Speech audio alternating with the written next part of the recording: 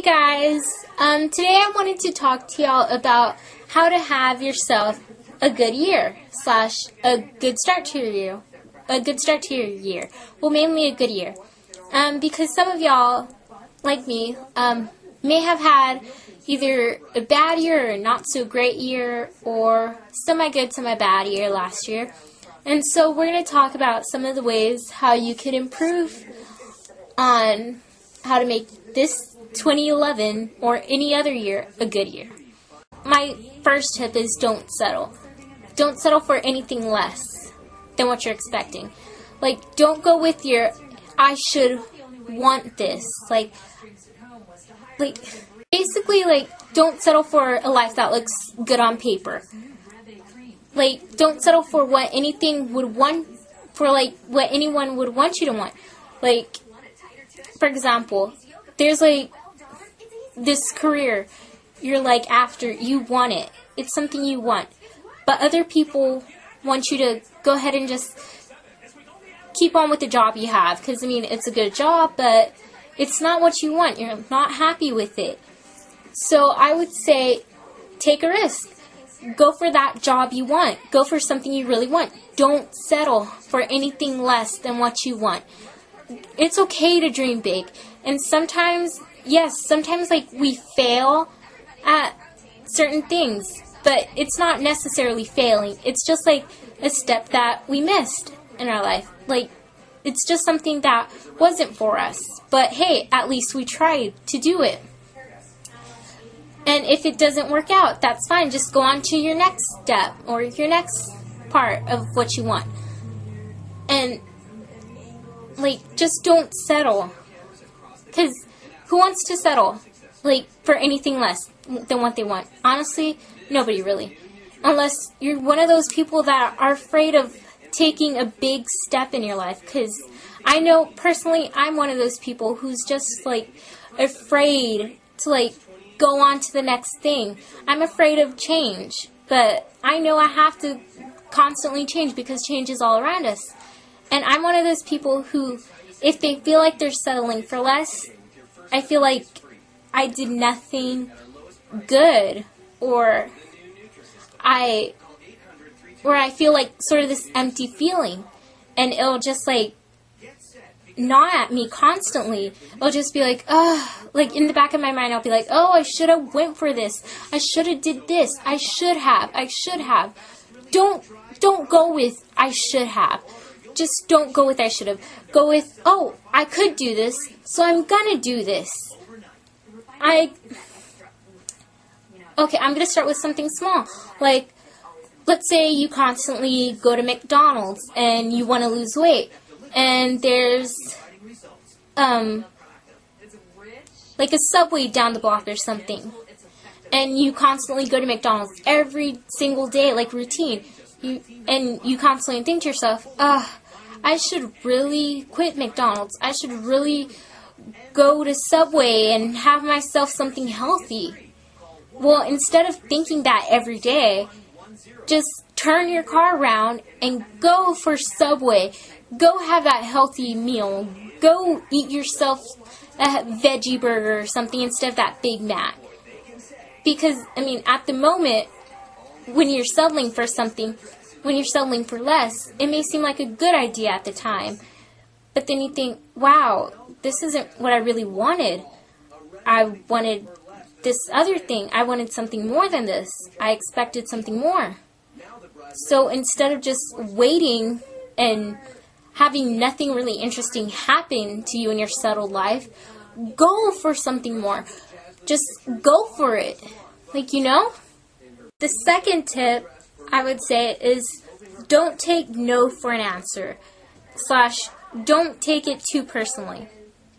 Okay, let's say you're going out on like a business thing, like you're trying to find the perfect job for you. Well, not the perfect, because there is no perfect job, but um, you're trying to find a job for you, and you turn in your resume to all these people, and you never get these callbacks until one day someone calls you back.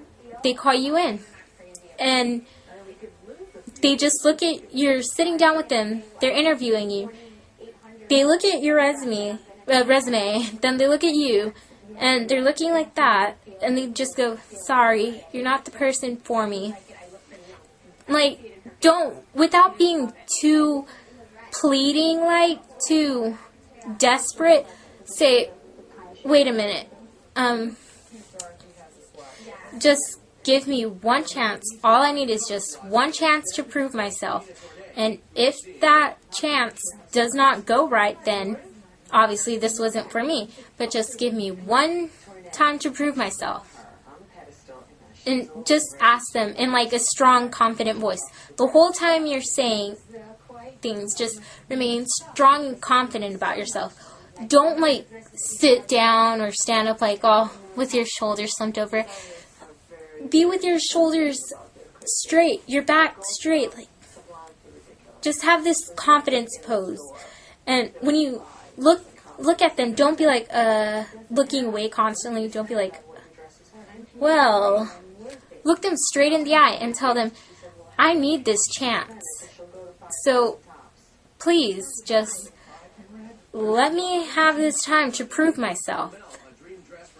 And like, let's say you're interning to be like, like let's say, hmm, like a journalist or something, and the person who you're interning for or whatever, they they need someone who's quick and fast to report the latest news on stuff. So prove yourself to them by like going out there, getting something hard hitting, getting something impacting, get something good, and bring it back to them and show them that you deserve this chance. And if they say no, don't take it personally. Don't be like, oh, well, it was my fault. I shouldn't have said this. I shouldn't have said that. Oh, wow. Like, don't sulk over it. Don't read into it too much. Just be like, okay, well, that wasn't for me then. And keep on searching, and then you'll find the right one. But don't take no too personally. Like, first, like, first, what I would say of the step number two of no. Um, first, ask them. Well, ask them, like, with a strong, confident voice, and just look them in the eye and say, I need this chance. Just give me time to prove myself and I can do this. And just go with it.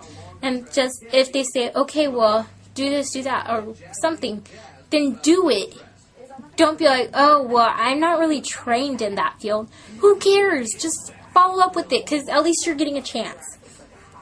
And the second part, if they do tell you no, just be like, okay, just brush it off. Be like, okay, well, that wasn't for me. There's something better in store for me. The number three tip is hustle. Hustle, hustle, hustle.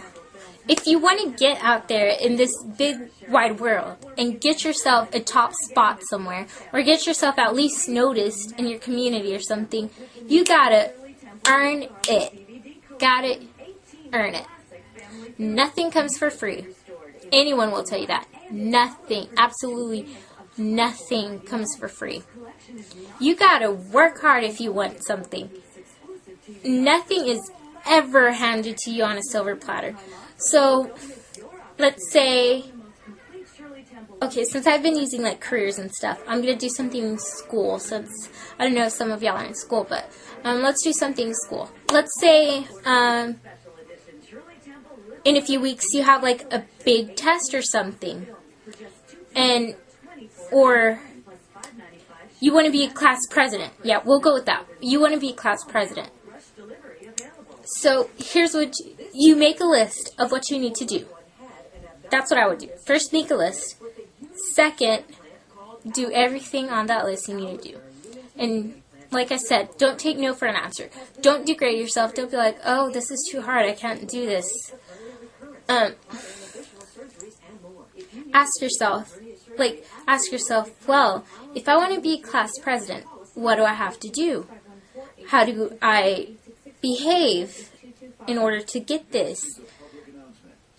What do what do I need to do to show my classmates or whoever that I can be their class president. Well, just work your butt off.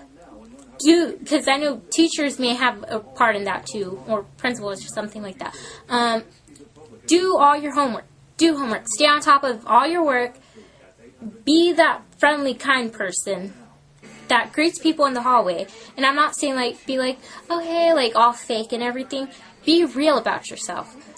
Just do what you have to do to get it. Okay.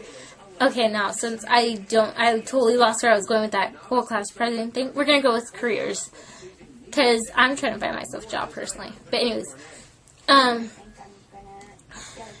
let's say you want to get promoted to like some, you want to get promoted to a new position or get a raise. Ask yourself, what do I have to do to get myself noticed to get that promotion? Or how do I show my boss that I deserve this raise? Ask yourself that. Then as soon as you've got that in your mind, keep on telling keep on asking yourself that until you come up with new ways and do it responsibly. Don't play none of that dirty work cuz dirty work will get you nowhere. It'll just at first with dirty work you'll get the top but then whew, go straight to the bottom. But work responsibly. Do it safely. Whatever you have to do, just do it in a way that suits you. And do it so and do it in a way so that you'll have time for yourself. Don't stress yourself out too much. Work hard. Be responsible. And don't just go along with the flow of things. Find a way to shine. Find a way to make yourself noticeable to your boss or to whoever, to your teacher, to whoever. Just find a way to make yourself shine. And you need to prioritize because if you can't prior- prioritize, then forget it. Like, find a way to manage your time. And don't be like, if you want to get that promotion or whatever, don't be like going out one night and be like, woohoo, I'm here partying with my girlfriends, woohoo. Don't be like that then the next day going to work all like, oh gosh, I shouldn't have drank that much. Oh, I shouldn't have stayed out that late. Ugh. Don't do anything that's going to cost you what you want. Find, just find a way. Like, I read in the last song, because as you know, I'm still reading the last song, but there's this quote that says, He was ordinary in a world that wanted extraordinary, or something like that. Instead of just going along, just find a way to make yourself noticeable. Get what you want. You deserve it. And finally, the last thing I would say is you're not perfect, so don't try to be.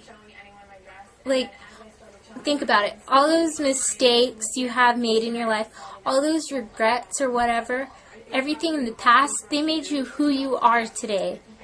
If none of if none of it wouldn't happen, you wouldn't be who you are today. No one's perfect. No one can ever be perfect. And I mean, if you were perfect, I think personally, I think it would suck because you'd be boring and you'd be like miss perfection and just get boring and tiring. So don't try to be like me. Like like last year, a lot of bad things happened to me. Like my granny passed away, um, financial issues, and other things. Honestly, that those things made me who they are, made me who I am today. My granny's death, it made me realize that life is too short to spend your whole life worrying, and that our life could be gone in any minute now. So we should be thankful for what we have. And the financial problems that we were going through, it made me realize that you have to be careful with how you spend your money. You have to be careful with money. Like, save some, spend some, half and half. Like, save some for bills or things you may need. Like, save some for, put aside bills, the necessities. Then, save the rest for, like, clothes or whatever. like for clothes, jewelry, stuff you want. And then the other part of it, just spend like separate separate your money into two things like save, spend. And then if you're feeling good or you want to treat yourself, use some of that spend money, but save some aside. And let's see what else has happened to me. Well, a lot has happened to me, a lot of personal issues that I don't want to talk about. But the point is, all of those have made me who I am. And quite frankly, it's all made me a stronger person. See, we go through these experiences to become who we are and to help better us. And honestly, along the way, we're going to make mistakes. We're going to fall. Some of us will fall hard, but you know what? Just get right back up again. You'll make it through. Trust me, you will. And if you need any support, just look at all your friends, look at your family. You have all those support systems. Anyways, I hope I hope some of y'all can use some of these tips to help have yourself a good year. And I hope some of y'all will memorize these tips and use them.